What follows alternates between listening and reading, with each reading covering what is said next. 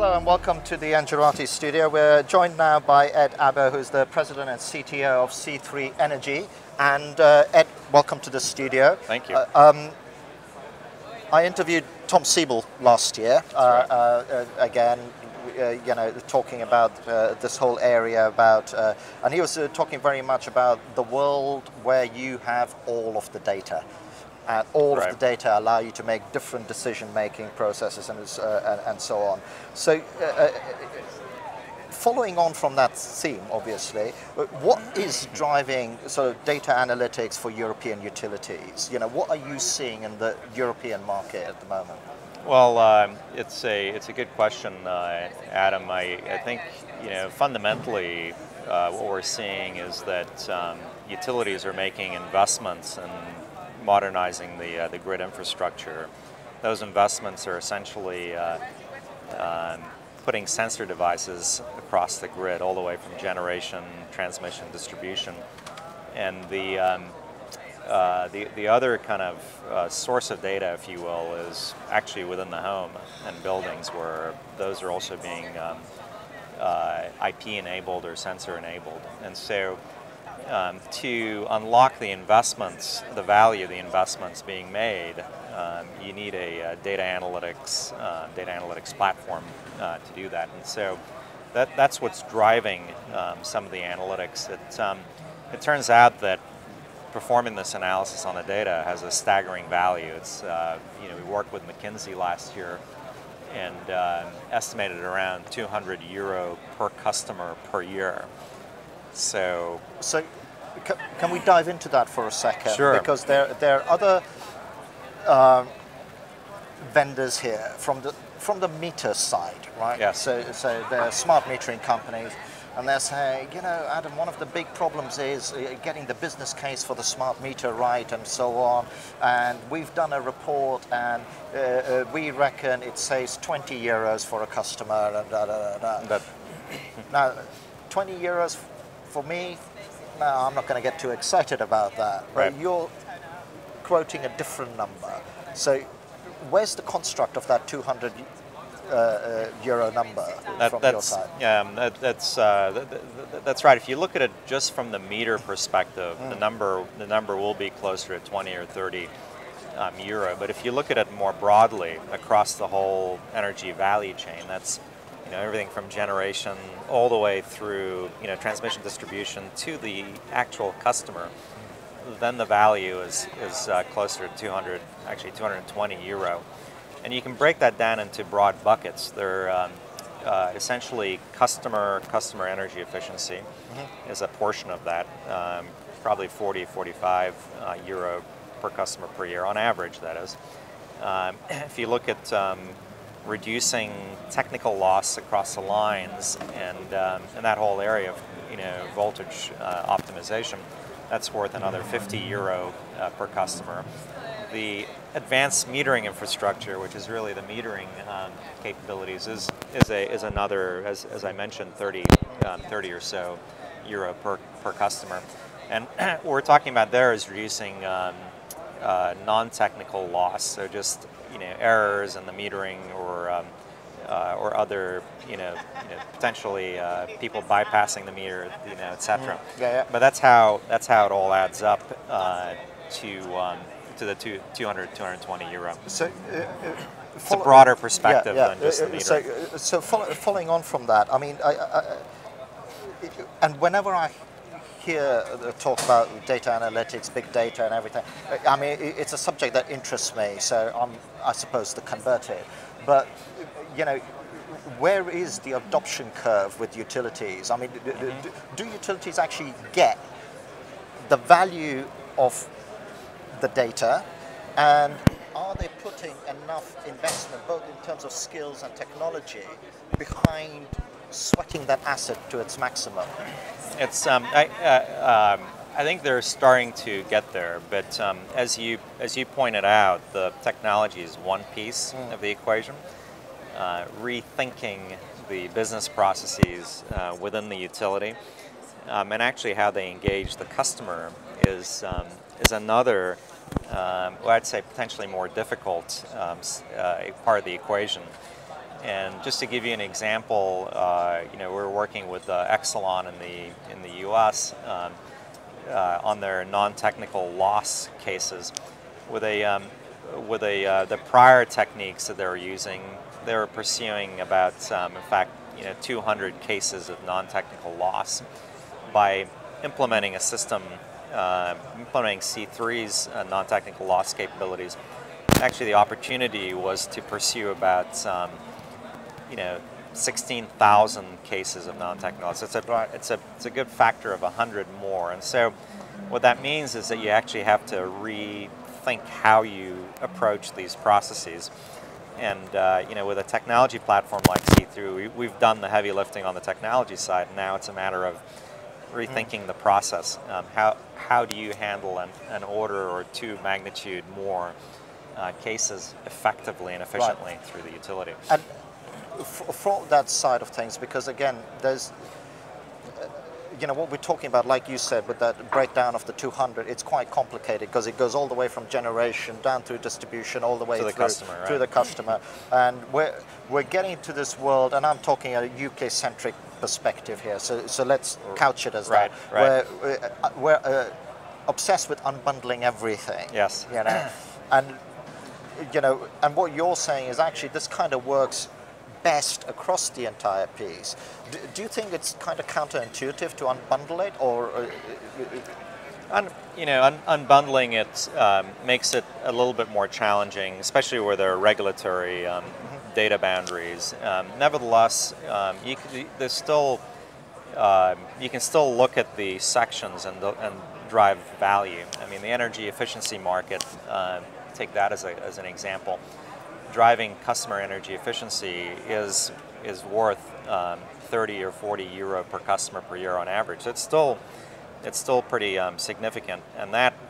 Um, and that, number is because of churn and managing churn, or, or is that is Well, that for the end customer? Yeah, no, it's a good it's a good question. There there are many um, there are many uh, components of it. So it's it's managing churn, um, lower acquisition costs. It's actually making the um, you know the consumer's use of energy more efficient, and this can be anything from you know uh, energy conservation measures to actually smart services being offered into the market, uh, such as smart cool- cooling or smart heating services, where you're automating um, the home and the home functions on behalf of the consumer within um, ranges that they've, they've pre-specified.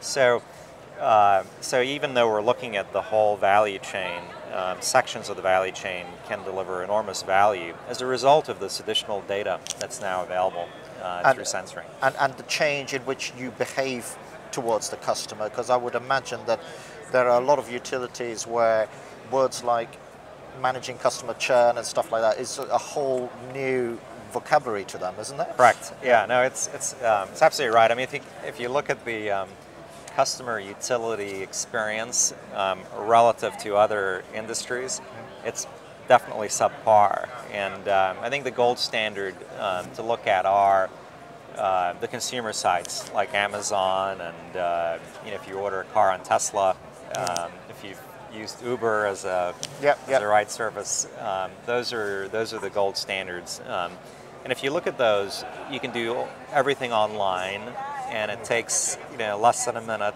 and fewer than two or three clicks to do. And so that's one of the areas that we're uh, we're basically looking at and reinventing on behalf of the uh, utility, so that the customer experience with the utility can be a lot more like an Amazon experience. So, so would you be like a service provider? Would you say, listen, we've got all the skill set to, to deal with that last mile of the relationship. Let us do it. You know, obviously, white label it so it looks like you, That- but let us right. do it for you. That's exactly right. Right. So we, we would we provide the um, the software that runs on you know obviously uh, web browsers or mobile devices Mm. that um, that allow the consumer to interact with the utility and do it in a very intelligent way. Mm. So they can you know stop or start service. Um, they can uh, move locations, pay their bill. Um, you know, look at what rates are best uh, for them, and then importantly, um, you know, make recommendations for ways that they can save money, and then also purchase those online, Right. just like you would um, with a uh, with an So, Amazon so you're changing experience. you're changing the dial then. So uh, you aren't just being an electricity retailer. You, you're potentially selling energy efficient fridges Uh, or whatever could be, it could be solar. It could be um, you know distributed generation of sorts. It Yeah. could be you know more efficient refrigerators, and all this is in a seamless you know customer experience that they're used to, frankly, from uh, from those other providers like Google and Amazon. So, so if we move the conversation on just a little bit, uh, and uh, uh, you know, when I, I, I come from an uh, IT background, doing uh, uh, you know, uh, media in the uh, in the IT world, I've done for years, and I came into the energy space about three years ago, and I was like, going, oh, this is this is a bit strange. It seems all a bit far behind. But suddenly you're seeing this this ramp up of new companies coming in who are coming from the IT space, a bit like C3 and uh, Right. things like that, offering these data analytic platform to companies. And there's more and more of these companies coming in. How, how does a utility actually judge? You know, what's the framework? And I'm, you know, and, this is just if you could just in general give some guidance on what people should be looking out for. Sure.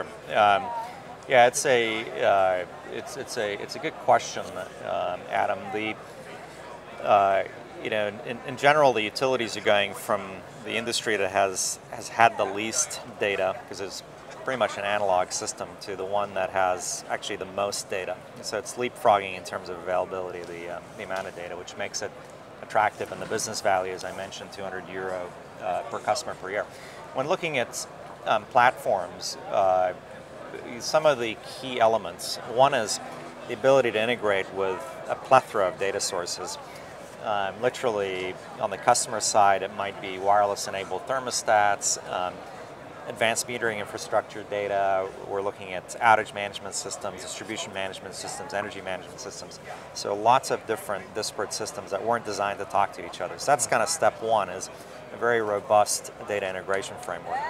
Once you've done that, then the next step is processing the data at very rapid rates. And um, what, uh, what we do is we basically borrowed from uh, technologies like Twitter's and Netflix, um, the same technologies that they use to deliver a billion videos, streaming videos a month, or uh, 15 million messages per second handled through that infrastructure to actually process the data at over a million data points per second um, through the infrastructure. and then finally, where the key comes in is actually um, running uh, what we refer to as machine learning Right. um, against the data, which is once you've analyzed the data through hundreds or thousands of, of analyses, how you make sense out of that is um, basically by having machine learning algorithms that can um, look and learn from data points. So if I, in our customer example, propose that you, you know you might be interested in a, in a solar panel, and um, and you say no, I'm not. I learn from that and through the system and basically present um, another offer or move forward with a, something different. So this machine learning layer is actually pretty critical. So that's kind of predictive analytics, really. And that's Uh, yeah, that's that's yeah, that's yeah. that's correct. It's Yeah. it's not just predictive, but it's learning is the other aspect. So we we learn just like Netflix does or Amazon does when they propose a, a video or a book to you, uh, and and depending on whether you decide to move forward with it or not. Those machine learning engines that uh, basically learn from the from the data and the experience, and that's a critical component uh, to these systems. So it's the integration, it's the processing of data at scale, it's the machine learning, and then I would say on top of that, um, having a pre-built system to start with is also pretty key. So Yeah. we've invested the past five years over 200 million uh, dollars at this point in building that technology stack and uh, building out the applications that a utility can then take and innovate on top of. So when someone comes to you, you aren't starting from scratch every single time. It's a, re- a, a replicable business. That's right. So yeah, there's a lot of point solutions in the market, Yeah. but none that are as well thought out and comprehensive in their capabilities. and that's what your differentiator is in terms of that spread across the board. that's so, correct. Uh, as we're coming to the end of our time uh, uh, here, just, just one f- uh, final bit is. If I could just very quickly, just if you were to blue sky for a second, how could the utility enhance the customer relationship? What, what does this world allow them to do that they aren't doing right now? Just a single sharp point. Very, very good point. I mean, you know, right now, as we as we mentioned, uh, the utility knows very little about the customer, and um, with the you know with with advancements like the advanced metering infrastructure and other you know wireless devices in the home, um, the utility can can now tell uh, a lot. Is the home efficient? Are, is there equipment in the home like appliances, refrigerators, uh, heaters, coolers, etc.? Are those efficient or not? So, um, could you benefit from solar? Um, what's the impact of having electric vehicles in the home? Am I on the right rate plan? Uh, you know, with the utility, is there a better rate plan? Um, are there home maintenance services that I should be able to take advantage of? And, and, and all of that will just give them more touch points and multiple touch That's points. right. like so that. they can retain Yeah. the customers, um, improve the customer satisfaction, do everything online versus having to, you know, send out mail or, uh, Or, or, or basically send that person out to read the meter To- and all that sort of stuff. Exactly. Right, so yeah. this is a completely revolutionary yeah. concept, but um, readily available in other industries. Great. Well, Ed, we have come to the end of our time here, uh, and uh, it's been a pleasure talking to you. It's uh, great having you in the studio, and thank you as well for watching, and uh, many more interviews on Engerati.